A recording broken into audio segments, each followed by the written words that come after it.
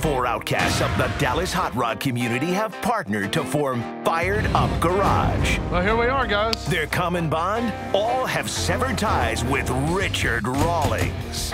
Tom Smith, fired for insubordination. Thomas Weeks, labeled rival after competing for cars. Jordan Butler, fired for bad attitude. Scott McMillan, quit after being overworked and underpaid. All are united by their passion for cars and their collective desire to replace Gas Monkey Garage as the number one hot rod shop in Dallas. This is Misfit Garage. Where are we going? Going north. I, have been following this car literally for over 25 years. Because that's how I work when it comes to keeping up with cars. I got a book at home that's just filled with people with old cars that, hey, one day they may be looking to sell. I give them a call every once in a while, and sometimes, like today, I get lucky. So we, it's just perfect timing because, you know, we just got deep right off into this, this whole shop deal, and then, you know, boom, I get this call on the Chevelle that I've been chasing forever. Sometimes deals happen like that, and sometimes they're saved for exactly the right time like we need it right now. Oh, there it is. That's it. There it is. There's Bobby right there. Oh, geez, that's a big guy. Man, I hadn't seen him. That guy doesn't look very friendly. He's walking faster this way than uh, we're moving that way.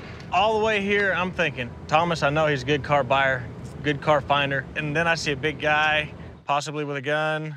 Now I'm starting to get a little nervous. It's your friend, right? Yeah. Okay. I hope he's my friend. You know what? I'm just thinking get past Bobby. I don't care. yeah, I just want to yeah. see the car. Bobby, anybody seen a 67 Chevelle laying around here? Yeah.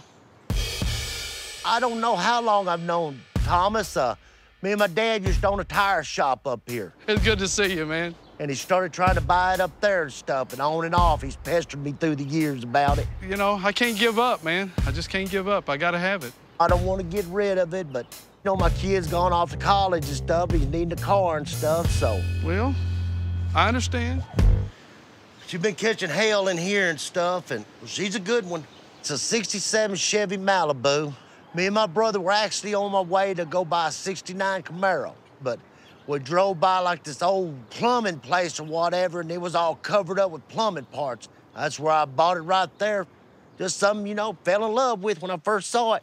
Well, you say you mind if we mind if we pull this thing out where I might be able to look at it a little bit closer?